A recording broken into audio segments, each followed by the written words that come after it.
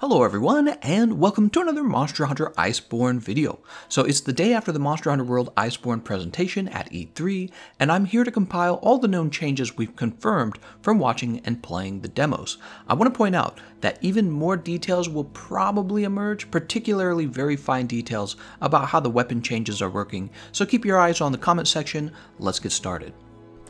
Change number 1, Master Rank Anjanath Hunting Horn comes with the Attack Up Large buff, which means it's also coming with the Attack Up Extra Large buff, because that's what it turns into on the Encore. Change number 2, Hunting Horns are confirmed to have a fourth note and new never seen before buffs.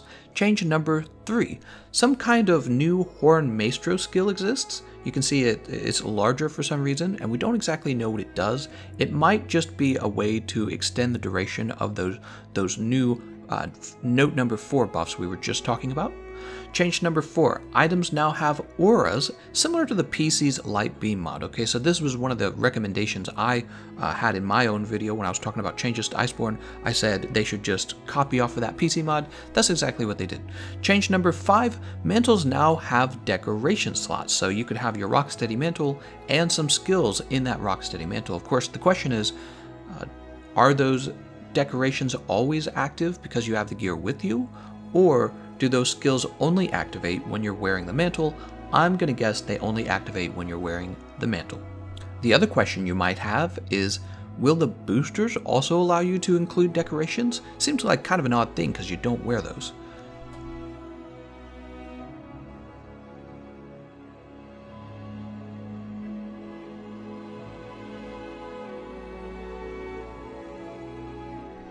Change number 6. There's a new small monster called a Wulg. It was used as a Raider Rider. We don't know if there's going to be a great version of it, kind of like, you know, Jagras, Great Jagras, or if it's going to be a standalone small monster like the way Shamos is in the Coral Reefs. Change number 7. There are new level 4 decoration slots. This is presumably going to make all of the old armor in the base game immediately obsolete, not to mention the new armor starts at 130 defense, which is a very large difference from our current rarity 8 armor. Change number 8, the sharpness bar now shows what your weapon's sharpness will look like even if you haven't added 5 levels of handicraft to it. This is just a quality of life change. No one has seen purple sharpness so far in the demo.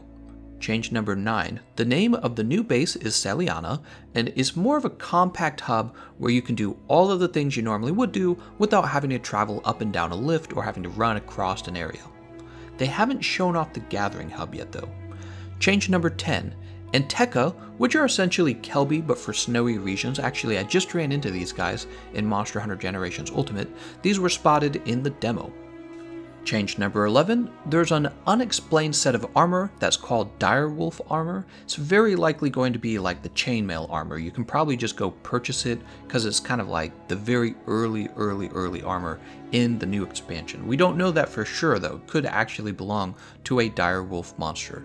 Change number 12, we got to see the Palicos using the new Revive Vigor Wasp spray, which is a pretty significant buff to hunters, so hopefully the game's difficulty is scaled up properly to compensate for all the extra lives we'll have, right? Like, where you normally would have died, you, you get to live. That's, that's a pretty large buff. It's basically like having uh, a free cart. You can have that, you can have the gut skill, you can have feline insurance. This is going to be pretty nutso, right? Change number 13. There was this amazing new canteen animation from the Grammeowster chef. Oh my god, it's amazing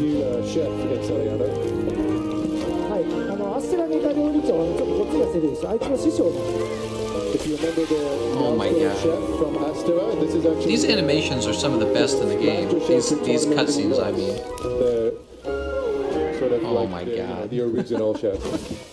なんで今回ちょっとねあの場所が寒いところなので That's exactly whose food I'd want to ビーフシチューと eat. かですねグラタンとか So you can see we got some uh, nice, hearty, warming-looking dishes for the cold climate. So like stews and so forth. Change number 14. Also, this Palico outfit needs to be acknowledged for its hilarious design. Change number 15. There's a new minigame called the Steamworks where you feed it fuel and then you have a chance for items that are like rewards, but honestly, it didn't seem that important in the presentation. It did have a funny cutscene with the handler using the steamer to cook her yams. Change number 16 your housekeeper Palico can now be talked to without having to go inside of your home, which gets rid of an entire load screen that you would normally have to deal with in the base game. Number 17 New view mode lets you take selfies. It's cute, but not really a big deal to me. Sadly, there were no new monster reveals at the E3 presentation, so this tells me it may be a little while before we get some other big news. Change number 18 Gourmet Voucher returns, but we haven't confirmed exactly what it does. In previous games, it made all of the ingredients fresh, so we could probably assume that's what it's going to do here.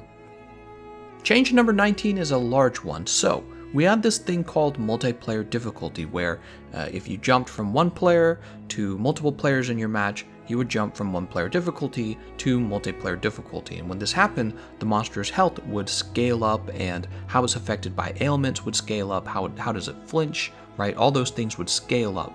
And it would do that even if only one more person joined. However, it now it only scales from one player to two player and then to three and four players. So it's easier essentially to play with just one friend helping than it used to be. Also, when your teammates leave or get disconnected, the difficulty scales back down as well. So let's say you had three people in your match, that means you have the three to four player difficulty with the monster that you're fighting. And then one of those players leaves, then it's going to scale down to two player difficulty. And let's say the last person leaves, it scales back down to solo play. So it gives much, much, much better. That's a large improvement to the multiplayer, an improvement that I've been calling for for almost a year, is, is something we very badly needed. Change number 20, there's an upgraded life powder called Dust of Life. Change number 21, we learned that the new Clutch Claw can actually be spammed, alright? So a lot of people were speculating whether it's like a one-use thing, and it has a big cooldown, or it can only be used under certain conditions. Nope, you can use it over and over and over again. However, it works just like Switch Axe latching, where you aren't truly mounted on the monster, you've just grabbed onto the monster, and you're still vulnerable to any of that monster's attacks. So you could spam it, but it's actually very dangerous to be spamming the Clutch Claw because while you're latched onto the monster, he could use a regular melee attack and you're going to take damage from it and be sent flying off. You know, his body his body when he's using a melee attack is going to count as a hitbox. You're literally touching that hitbox, so you take damage from it and all of that time you spent grabbing onto the monster is wasted and it doesn't really do a lot of damage from what we're seeing. It's just a way to soften up the monster's hide, which brings us to change number 22. Monster parts softened by Clutch Claw will show up with markings. You'll remember some weapons will cause a clutch claw softening, other weapons will cause the monster to drop a pod. Change number 23, when you deal damage to a softened part, a special icon is going to show up around your damage, kind of like the way the game tells you, uh, well, gives you a hit confirm when you've landed a critical hit. So this leads me to speculate a few things. This makes me speculate that we saw some new uh, decoration slots for level 4 decorations. We know we're getting new skills. I'm going to bet you right now there's going to be a skill kind of like critical boost except it deals bonus damage to softened parts. I'm also going to guess that there's going to be some skills that increase slinger pod damage. Change number 24. The Raider rides are not directly controllable. We already knew this because of what Capcom said in their Twitter. However, they actually looked pretty useful for gathering items and tracks. That little monster just runs from one to the other very quickly, and they'll even chase the target for you. Change number 25, when you dismount the Raider ride, you get to use a jumping attack because you're literally hopping off. Uh, so this means whenever you're approaching the monster on your Raider Rider, you can expect to deal a little bit of mount damage and maybe get a mount on the monster. I also heard some people mention that the Raider Rider can become tired, so there must be a limit to how much you can use them. I don't know how that works yet. Change number 26, people noticed that the radial menu might be getting a change where it no longer is tied to each individual item loadout, Change number 27 people are speculating that you're going to be allowed to bring five throwing knives with you on quests, kind of like the way that you can bring them, uh, you can bring gear. Also, players noticed you can see what your slinger pod ammo is underneath the reticle for which throwing knife you're holding. So the way it works right now, let's say you, you pick up some stones, right, and, and you put it into your slinger. Uh, and then what you do is you grab your flash pods and equip that as well. What happens is you're still holding the stones, you just can't see it anymore. Well, now you're going to be able to see that you're still holding the stones. And that's the end of my list. Let me know which changes you're most excited for, and let me know if there's anything I missed or could have elaborated more on. I also want to take a moment at the end here to give my opinion on the presentation itself really quickly. I've read a lot of negative comments about how the E3 presentation was kind of a letdown because it seemed small and there was no new details on new monsters. Here's my take. I think Capcom should have saved the story trailer for E3 and then released it alongside uh, all the terrific trailers we saw, like the Elden Ring trailer from FromSoft and the Cyberpunk trailer. Then we would have seen Tigrex and Glavenus for the first time at E3, and it would have been great news with a lot of hype.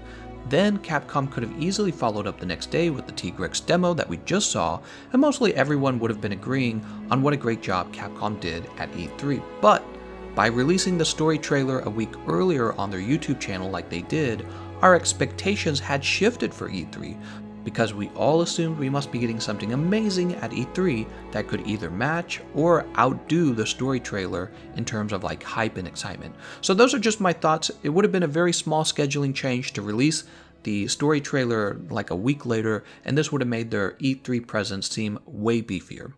Alright, well, I think I've said enough. I want to thank all of my new recent subs on Patreon for their support. Thank you very much, guys. And I want to thank all of you for watching. I'll see you guys next time.